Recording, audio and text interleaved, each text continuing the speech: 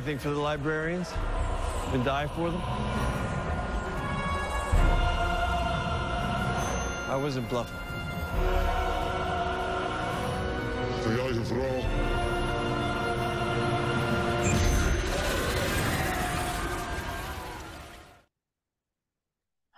Everybody. Welcome to the channel. We discuss the laws of mind that govern our lives and the one law that we're in now, which is the law of love and grace. And this age has ended, and we're in that transition period going from one age to another. And that's what we talk about. And this is often told to us in the Bible. Uh, and we discover this as we try to go manifest our lives, manifest your destiny, right? That's why that resonated with everyone in America. Go west, young man, you know, and the Native American Indians were part of that because they had been trashing each other for a very long time and enslaving each other for a very long time. So, oh, you want to be a little shit here? You want to meet some shits? and to the first ones that came, you know, they were all friends and everything. But this is you, the good. The good is always, you know, this is what you got. No, imagine they're all like that and it'll be like that. They forgot that.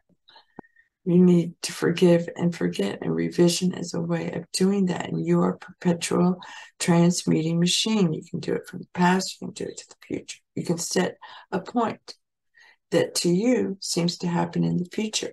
But all moments are happening in all times and place. Okay. You're supposed to play your role to thine own self be true. You know, if you enjoy gardening then, and not going to tea parties and dressing up, then you go dig in the garden and be happy. And it doesn't matter what everybody else says. If you're the best, you know, model out there, then you don't listen to everybody else. Well, you need to, you know, expand. You need to go do this. If that's what you like, to thine own self be true. Okay. And, you know, don't go following these, they're crazy people. They're not thinking. Okay. You bless them, you forgive them, you walk away from them. But revision is really revision is a great tool. It really is because the scene's all set up. It's already done. All you have to do is just revise the lines or the blocking. Okay. Now, now, you know, I'm going to revise that. That's that's not what really happened. I know what really happened was this and this and this and this and this and this. It's another form of forgiveness because really, you're not supposed to look back. There is no past, there is no future. There's only the presence, the present to us. So, the number one thing you can do for yourself is to look yourself in the eyes and say, I love you, you know, and know that everything is working out for your good and say that. I know I'm on a bridge of incidents. I know it's all going to work out great. I'll see it when I see it, you know, and you just keep blowing it off okay? Because that's taking care of business. And the outside world is business, and you don't take your emotions into work. Okay. You don't spread your dirty laundry at work. Home's at home. Business is business. Okay. And that's what the Bible's telling you. So if people are at work or bugging you, so you just take note, you know, keep your mouth shut as much as possible. Go home you know, and leave that outside the door. Okay. And then you go find time to sit down, think about it, you know, and determine what your response will be. And no response is a response. Acknowledge that it is a response, that I'm not going to respond to that. Therefore, noting you did not ignore it, you're not sweeping it under the rug. It's no, I'm not responding to that. That has no place here. You know, and the given to Caesar was Caesar's and given to God was God. It, that's what it means. You know, they, their business, you know, you give to God all that passion. You don't get that to them. And not that they're bad or good, but you don't know. You know, so you, that's why you don't tell anyone because you don't know. You can you think someone's conscious because they're telling you, I'm awake, I'm awake, or whatever, you know, and they're not. They're not, they're still judging. Okay, you don't want to get caught up in their judgments and stuff, you know. So protect yourself, cover your gut, cross your arms, cross your gut. You're not being defensive like objective man would say you are. I'm being defensive and I'm not going to let you near my good, You know? And I wish you the best. I'm going to uh, appreciate that you're here and you've had a life experience and you're now speaking to me for some reason. So I'm going to admire and appreciate and respect you and listen. You know, but I'm, I'm not necessarily going to believe it just because I listened to it. No, I'll make my own judgment. And for most part, it's not even worth thinking about. So the clips I'm using today are uh, from the TV series The Librarians.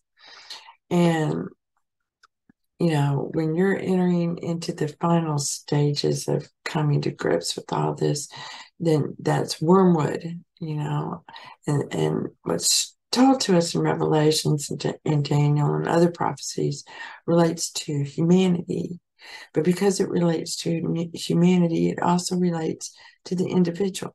And this is what Jesus was teaching, you know, about it took 1,260 days. It like got confirmed to us, you know, that that part was actually real. And that's what took place.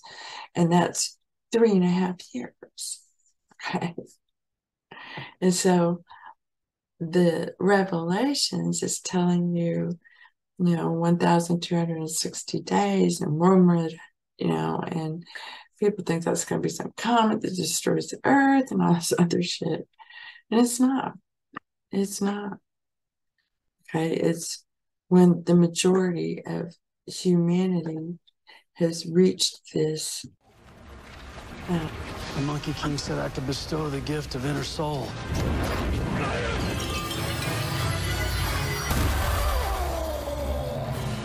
I'm giving it to you.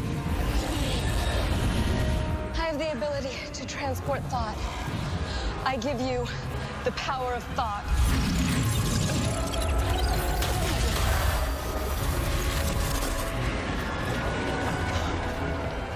No one needs this love potion more than you. Here, have a heart!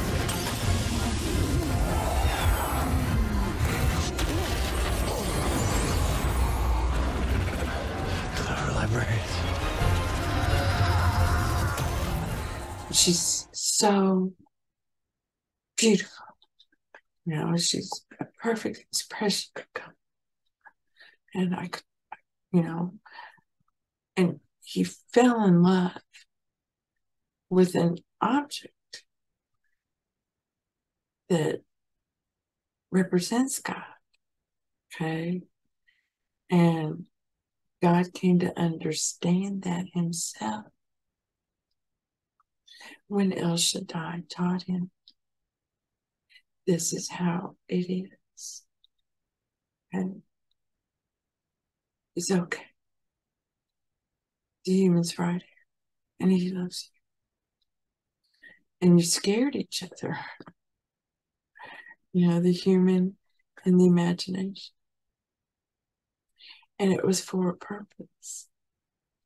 Because the human wanted to be wise like God. And in order for him to be wise like God, well, God had to, to go inside him and man had to immerse himself into death. Okay, that's what you've been doing, dying and dying and dying and dying and dying. Over and over again. So you grab death by the horns and no, there's only light. I know that now. Yeah. Thank you, Father, for giving me your wisdom. Yeah. And know that everything's perfect because God is perfect. And He's perfect good. And you've been taught the language of the humans. So you use the words that are good. Okay. Understanding underneath it all. I'm not really young. I'm ageless and timeless. You know, but I look like I'm young when men look at me. You know, I'm beautiful. I'm gorgeous. I'm a perfect expression of God. It's His light shining through me. How can I be anything but beautiful? And everything around me is just, it's beautiful. It's an expression. You have some serious explaining to do. How could you lie to us? You should have told us the plan. We could have helped. Well, that's exactly what we didn't want you to do. You were our failsafe. If we failed and pure evil was released, we'd need you guys as backup. And you working for DOSA.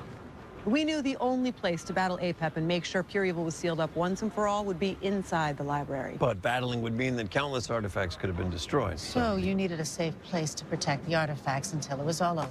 A facility whose security features rivaled our own. Like one that DOSA had been building all along. Clever.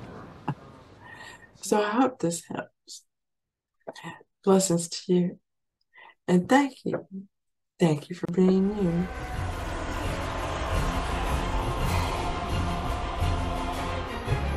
What? What is happening to me? To work the Eye of Ra requires a human sacrifice. So my friends found another human to sacrifice. Me. Welcome to the human race.